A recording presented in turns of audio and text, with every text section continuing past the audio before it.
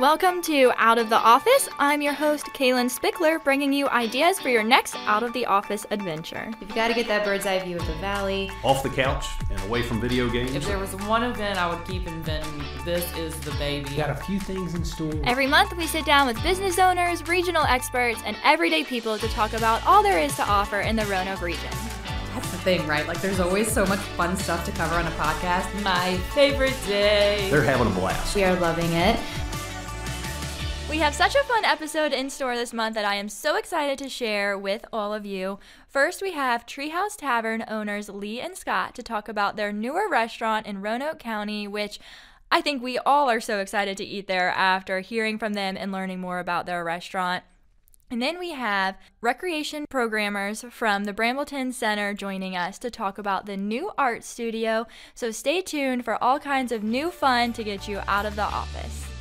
With us now, we have Scott and Lee from Treehouse Tavern, as well as Karli Foster from Roanoke County Economic Development. And Karli and I are so excited to have Scott and Lee from Treehouse Tavern in the studio to talk about their newer restaurant to the Valley.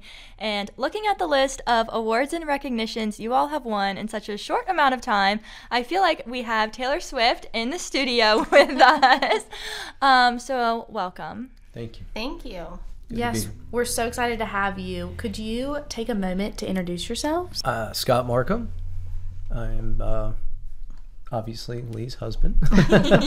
um, I kind of handle the day-to-day operations of the restaurant. Um, so I could go in depth, but that would bore you to tears. So we'll leave it at that. Um, and I'm home with our three kids. I do the social media, all the emailing, making appointments, making lists, anything we need typed, all that kind of stuff.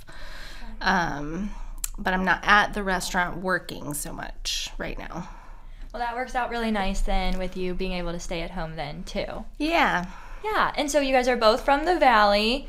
Have you stayed here since you were born, or did you go out and about? For the most part, um, Okay. a couple of uh, stints traveling. up lived in Northern Virginia, working um, in for Chili's actually. Moved uh, to Harrisonburg after that. Opened up that restaurant, and then Uh, finally. you opened up the Chili's in Harrisonburg? Yep. Mm-hmm. I'm from Harrisonburg. Wow. Okay, well, I went to JMU. Okay. That's my Go only Dukes. away time. So went to JMU and came back to Roanoke and met Scott while I was student teaching. So That's so fun. Have you eaten at the Chili's? I, of course, I've eaten at the Chili's. Chili's is my favorite, just like everyone else in Roanoke. Wow, that's so cool. Very cool. Okay, well, so let's start with the beginning, the vision for the restaurant. So, what was the inspiration behind the name Treehouse Tavern? Um, I mean, we've talked about opening a restaurant since we met, um, but this particular place kind of was what started with the name, I think. Um, and we had a friend who had a retail business downtown Roanoke called the Treehouse, um, which closed. Um, so when it did, I asked her if we could borrow the name because we just thought it really fit the vibe we were going for. Um, a treehouse is kind of a gathering place, but more, you know, fun or a little bit more of a hideaway. Um, and the tavern can kind of mean the same thing for adults. So the combination just kind of seemed to work. Um, and I think it conveys that we are family friendly, but you know, it's still a tavern. Um, but there's a little bit more of a like whimsical aspect to it, I guess. That's so fun. yeah, I definitely agree with how the name goes with the atmosphere of the restaurant. It's super, it ties in super well with each other. Thank you. Yeah, the Treehouse Tavern has really become an essential hub on Bent Mountain, and you even won silver for the bar where everyone knows your name, which for a new restaurant I think is super impressive, um, and really highlights the support you're receiving from the local community. Going off being a new restaurant since you won platinum for being the best new restaurant, how long has the Treehouse Tavern been open? Two years. It'll be two years in August officially. It, it was two years this month that we took the space over, um, but we had many We started cleaning two many years ago. months of cleaning and um, rearranging, and uh, so we finally got open in the summer of 2022. Okay. And then had our baby in the fall of 2022. which everybody should experience. um, but yeah, the I think that award was one of the more meaningful ones to us. Um, you know, we're we're proud of the food and glad that that was recognized. Um, the new restaurant was also meaningful because you can only get that once. Right. Um, so yeah, those two were probably some of the more meaningful awards to us. yeah. Yeah. Have you guys noticed like regulars coming in? Like, do you really feel like you know people's names and they know you all? We're still For learning sure. names, but Yeah. the faces. especially definitely. me because I'm not there as Right. much. Um, but we definitely have a group of re- very regular regulars. um, you know, in in reflection, it was funny because one of our key employees we, I was chatting with, and we were standing there noticing that like nobody ever sat at the bar when we first opened. So it was almost like everybody was afraid to go to the bar. Uh, but the dining room was filling up, and I said, "When do you think we'll have the bar filled?" And now, in hindsight, we look back on that comment, and it was just just a matter of time. And now it's like the bar is always full, and it's always the regulars, and they have their seats, and it's just um, you know, it's a it's a Cheers moment. It really is. yeah. You're probably not old enough to know about Cheers, but I'll tell you that later. I was just thinking like glasses clinking here. Oh, you have to know the song where everybody knows your name. Yeah. yes, you got to look that one up. Okay. it's, it's, it's worthy. Oh, I will. That's funny. Okay, I'm glad to know the reference now. Um, so you guys really have thought of everything from the outdoor space to the vegan menu. So I definitely would love to dissect those. And I think first we want to talk about the outdoor space. So complete with outdoor cooking and the patio. That's definitely a big draw, and clearly the community sees it as such because you all won platinum for that and silver for the pet friendly patio. So it's also probably a big factor into winning platinum for the family friendly restaurant. True, true. We eat our own family eats there every day, and we have three kids of very different ages. So being outside is always ideal. They're not to be contained. um, it really is kind of making what we're looking for as a family. Um, we have friends with kids in the area. Our kids go to Back Creek and Cave Spring. Um, so it's a lot of families that come up. Um, and same with pets. I mean, we love our pets, and We even, you know, have people call ahead on colder days and ask if they can sit outside because their dog is with them, and we'll oblige, of course. Um, you know, but they're cold, but the pets are happy. but uh, yeah, it's a it's a unique situation. Um, you know that I think tying into what you're saying is, you know, seeing a family eating with their kids inside, and then that same family, I see them outside, and it's a totally different dynamic. The parents are calm outside, and the the kids are playing, whereas it's total opposite when you're on the inside because they're constantly trying to juggle and catch things from breaking. yeah. I mean, there's know, only so many table activities kids exactly, will but they can run around and be free and just let all the energy Um, out. but also adults too. Um, I mean, we're on top of a beautiful mountain, and people come up there. People live up there because of that. People come visit because of that. So, um, I mean, we would be silly not to take advantage of that and the beautiful view across the street with the barn and the willow trees. And I mean, it's just kind of picture perfect. Um, so we definitely plan on continuing to add to that and having live music outside. Okay. Wow. Well, that'll be something to look forward to. Yeah. Absolutely. Yeah, and are there any other expansions or service offerings that you are looking to add in the future just to give everyone a heads up?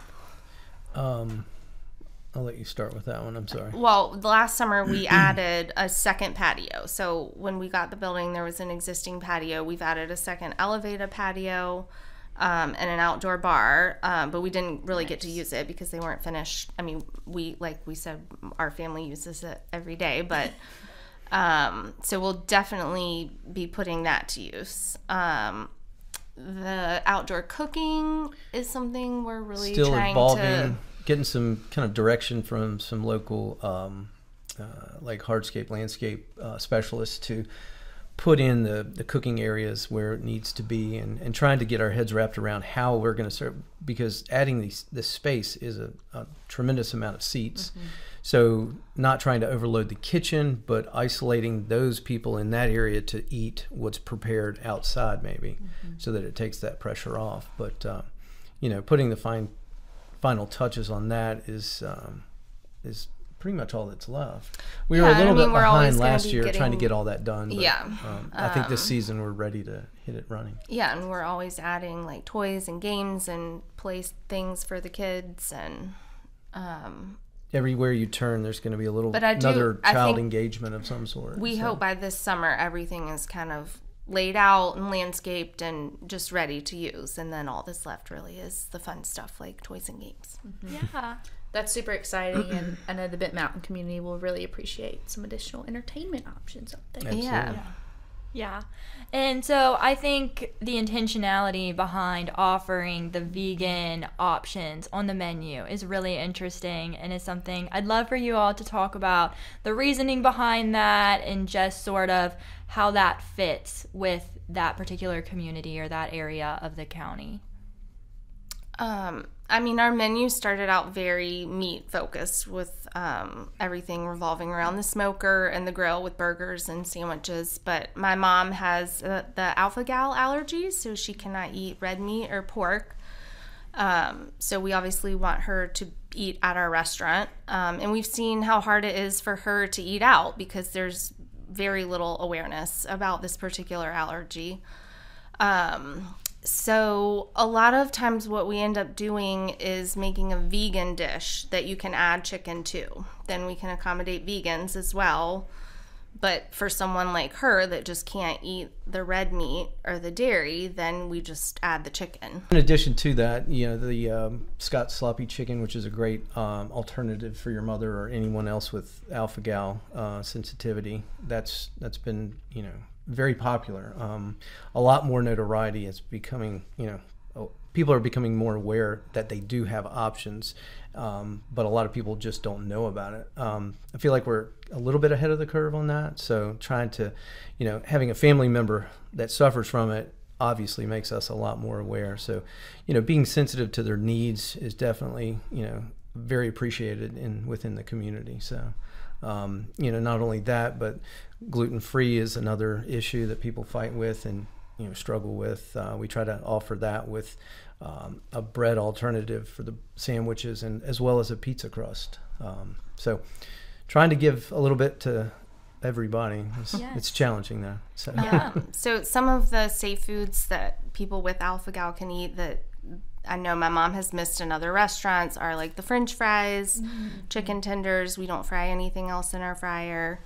Um, we have a vegan pizza, a few salad dressings, and then all of the barbecue dishes are available with barbecue chicken instead of pork. Okay. Wow, that's really cool. You guys definitely spent a lot of time thinking about that and just making sure there was something for everyone. Well, we would. I mean, it comes with about twelve years of yeah. uh, note taking. So. well, like Kaelyn said, you all have been so intentional throughout this entire process and everything you have brought into your business. But I think something that's really unique as well is just the community focused aspect that you all have incorporated. So I know that you all featured a local artist through your new mural wall. And I would just like to hear a little bit more about that as well. Um, yes, Maggie Perrin Key is a local artist, and she has a few murals around town. Um, we've been friends for years, so I just always knew I wanted her art in whatever space we ended up. Um, it just brings a lot of life. Um, it was kind of a drab building when we got it, and I think it's added so much color. We added to the outside. Um, which I noticed one day because I had to park across the street and I saw how plain it looks when there's nothing in the no one in the parking lot. It was just this white nothing in a gray parking lot. Um, so she painted huge leaves all along the front and it really makes it stand out.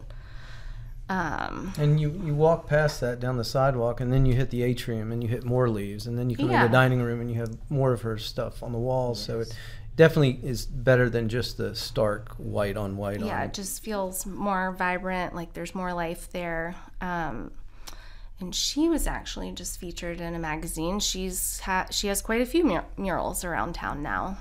Um, so I'm glad that we got some of her work before she's too famous. That's awesome. Before she's also Taylor Swift. yes. Um, well, you also won silver for Best Place for Lunch and gold for Can't Miss Daily Specials. So I would love to hear a little bit about what you have for lunch and what you kind of see as the popular items and also maybe some of the daily specials. Well, we, we're trying to really use what we have to kind of reincorporate into something new. Um, you know, an example of this, we have meatloaf, which is wildly popular. So we decided to do a, a twist on that, and we used a stuffed jalapeno inside of the meatloaf. So it was a like a stuffed jalapeno popper inside of the meatloaf and it was really good and um, we'll continue to do that um, the you know the spins like you know traditional caesar salad. Somebody asked if we they could do chicken tenders on it. Well of course you know. I mean anything's possible but it's um, trying to think a bit you know uh, Yeah, I mean, more openly about well let's try this or let's try that. But a lot of times it's recommendations from customers or you know the the kitchen staff or the chef or somebody will have an idea that we'll just try and it catches on like wildfire Um, as far as lunch, we it's traditional tavern fare. We've got burgers, sandwiches, salads. Um, but like you said, we have the traditional stuff like a regular tavern burger or chicken salad sandwich. Um, but then we also have some unique burgers like the bacon and brie is really popular, or a pimento burger with our homemade pimento cheese. Um, and then, as far as specials, our most recent popular one was the prime rib that we featured for Valentine's Day, that we've gotten really good feedback on. So, we're going to continue to have a steak feature on Fridays and Saturdays. Um, and we do have a lot of support from the locals, but it's been a year and a half and they're ready for some new things. They, they keep coming, even if we don't have features some nights, but I know that they're ready for and you know to the locals. Um, i said in the past and we've said it many times we could not have done it without the local support. And i think that's what was missing in the past and we've just really engaged with the local community and it's just it's it's proven to be a very fruitful venture for us and them and prevents them from having to go down the mountain or you know to to go anywhere to eat. But those features those specials keeps it you know keeps it fresh and it keeps them wanting to see what's next or what's new or um, but beef is what's for dinner for sure yeah, they, they've been a fan of the steak. Um, but I think too, not just as far as food specials and features, they're they're starting to ask for special nights like trivia, bingo. We're definitely going to get into karaoke. Wow.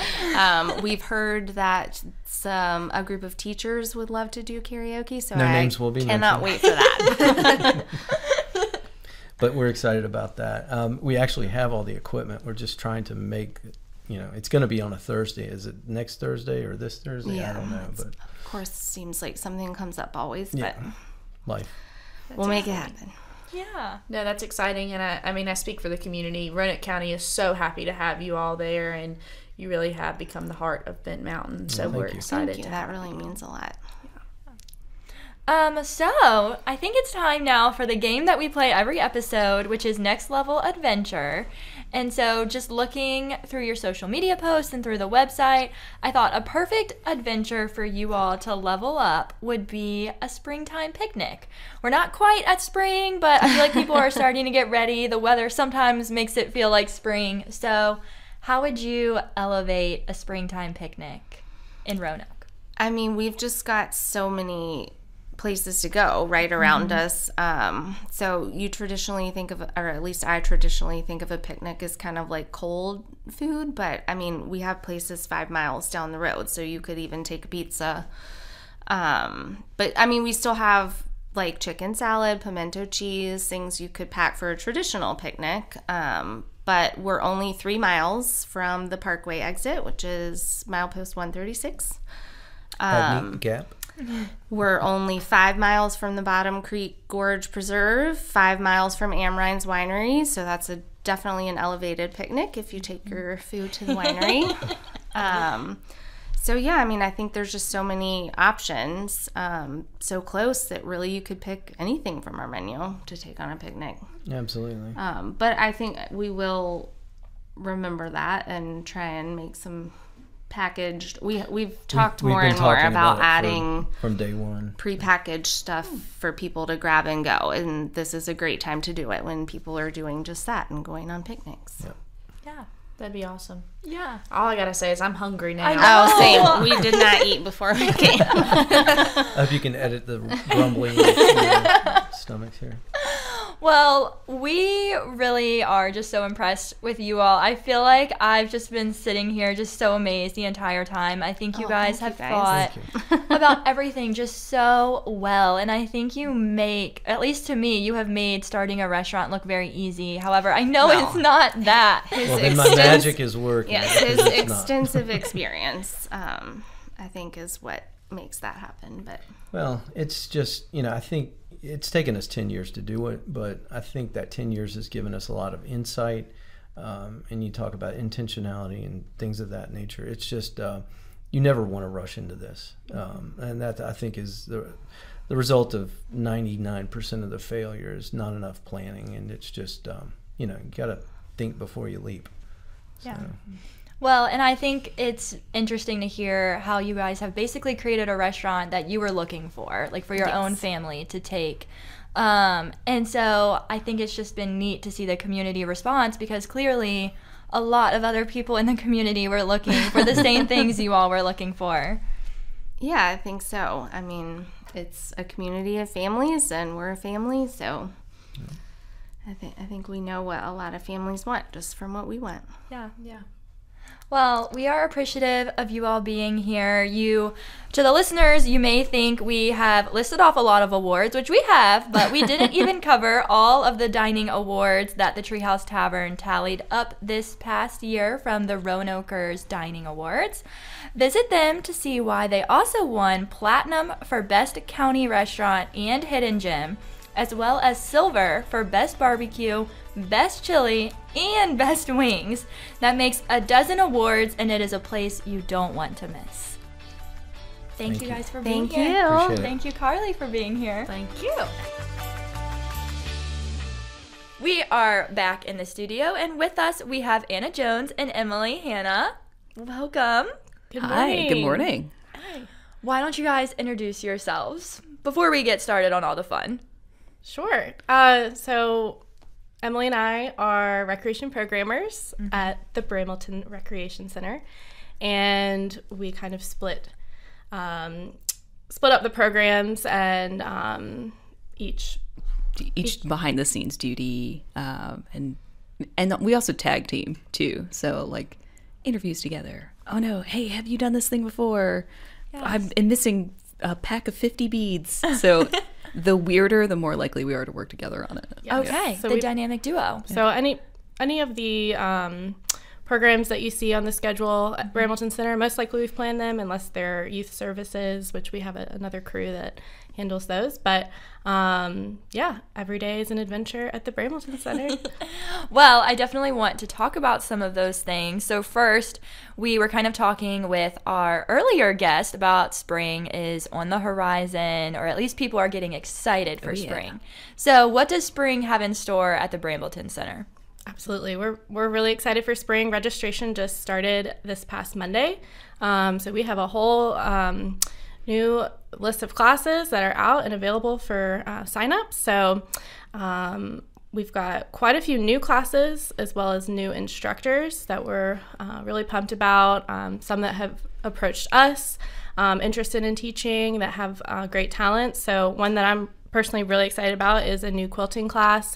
Wow. Um, yeah, so um, we have a brand new instructor. She's really passionate about um, teaching um, beginners, but also um, more advanced. She could definitely Yeah, work into teaching more advanced and inter- intermediate sewing too. absolutely. Okay. Yeah, so sure. um, we're excited to have her on board, and um, along with with a few others.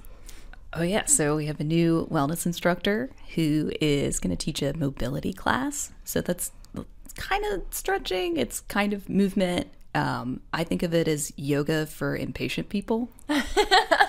Okay.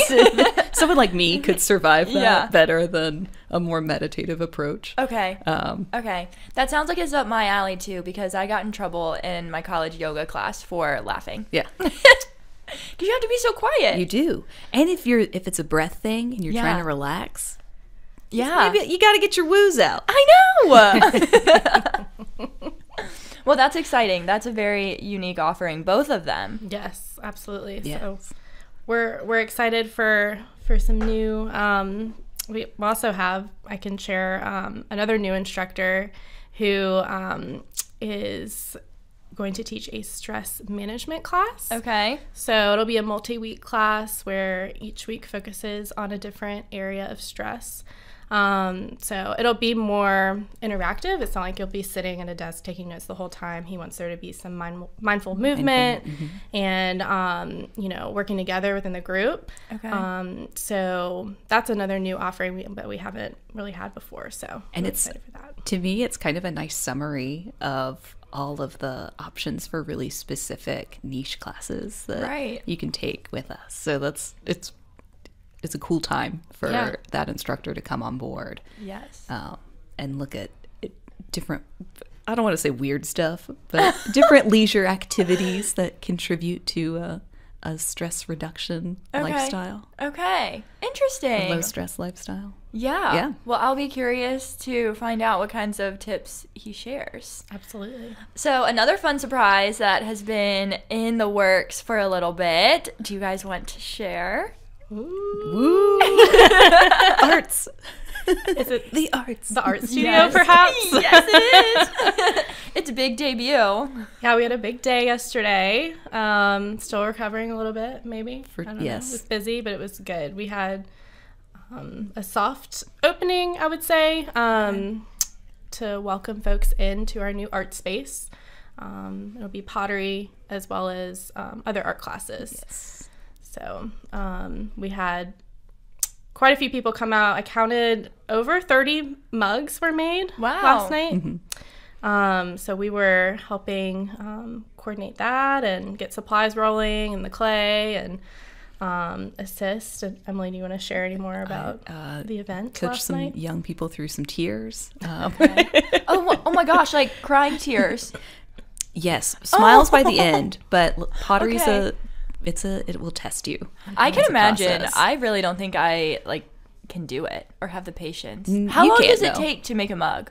Did you guys were you able to like notice yesterday? We actually did a practice mug ahead of time, so we got to experience. Um, it probably took at least an hour. Hour, Yeah. I'd say. But once again, you can adapt it to being an impatient person. You're right, with the stress You know, management yeah. class. well, or in general, Yes. good instruction. We had a will adapt couple it. That turned into pencil holders, which is fine. Okay. You know, not every mug is meant to be a mug. so we, Yeah. we gotta pivot, pivot sometimes. But Yeah. um, yeah, it was it was really great. It, I would say, yeah, probably about an hour to make a mug. Okay. Yeah. All right. But You should you should lots come of try it. smiles. Um, we also had a separate arts instructor with us. So the pottery instructor coached people through some of those challenges. She's very adept at um, getting people from a frustrated place to one where they're like in a better flow state Okay. and are more receptive to trying something that's hard. Um, so she was there, and it was really nice. Yeah. um, a separate arts instructor was also able to join us, and she did jelly plate prints. Wow. Uh, so it's kind of like printmaking, Okay. um, which is you're not carving out your own stamp. You're using different textures and different kinds of paints to like layer an image.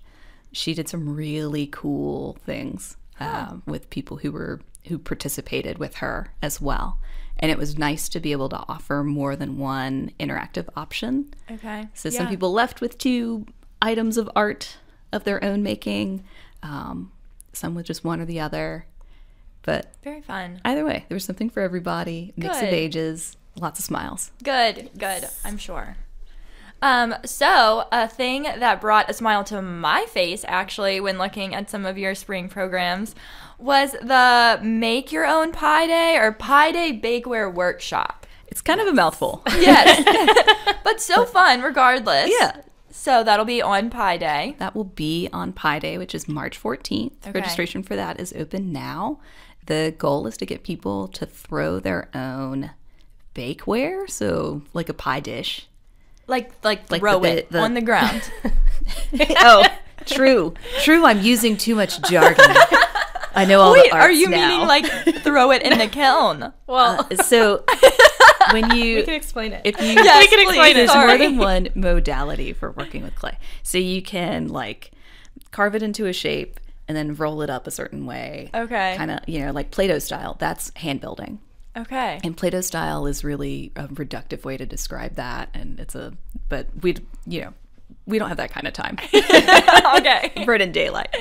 Um, the other way that you can that you're probably thinking of that people think of when they think of pottery Mm-hmm. is to take a big clump of clay and put it on a potter's wheel and you sit in front of the spinning wheel and you have to like build it up into this big shape and then kind of push it down into what it's Yeah. how most people would make like a bowl Okay. or a, a cup uh, and the terminology behind that is that you take the clay and you throw it Yes. down on the wheel like you want it to splat Yes. So you're so they are going to be making their own. their own Pie pie dish. Yes. So fun. And they they're- get to wash hands and eat a bunch of pie. and eat pie. Awesome. Yeah, Well, that sounds so great. It'll be fun. Yeah, we have spots Yeah. available, so if you're interested, All of the flavors will be there. Oh, You good. know, my favorites are uh, hot and cold pie. So that's Okay. all pie, all of them. all the pie. Well, I think that is super fun and creative. And another thing that I am looking forward to is Treetop Quest opening. Yes. And is that on the horizon? Are tickets going on sale soon? They are, yeah. So opening weekend is actually coming up um, at the beginning of April on April 6th. Um, the spring and fall operations are weekends only. Um, but once the summer hits, um, you'll be seeing um, the course open from Tuesdays through Sundays. Okay. Um, but you can actually start buying tickets on March 1st. Um, so be on the lookout for that. Yes. And um, you actually save $5 when you sign up in advance online. So Okay. make sure to get your tickets in advance, get that di- discount. Um, but yeah, we're looking forward to um, all of that. and And people in the tree. yeah, I know they were doing all of their um, The course inspection. course The gear inspection. getting everything freshened up, ready to go for a new a new season. So lots of lots of fun loading out at Explore Park. Yes. Yes, that will be fun. I can't believe it's already that time of year for Treetop Quest to be opening again. Absolutely, I know. Well, before we close this episode of the podcast, it's time for our little game, Roanoke Rapid. so this is kind of like Fast Money on Family Feud.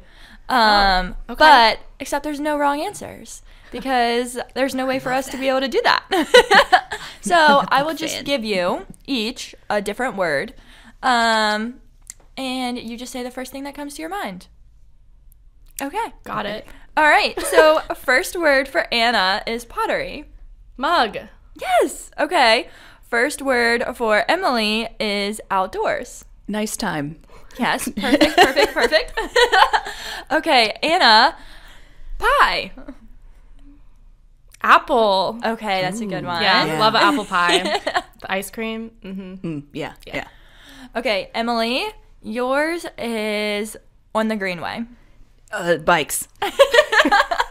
dogs. No, Lot of great perfect. dogs. Yes. dogs.